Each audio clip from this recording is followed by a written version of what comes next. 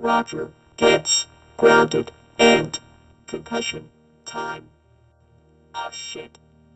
Concussion time. Enjoy the show.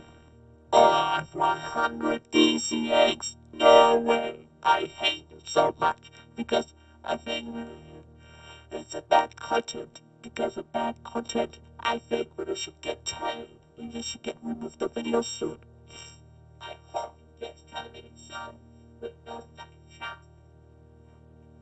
That's. Roger, you ride 100 DCX? That's it. You are grounded and now it's concussion time. No! Too bad. Concussion time.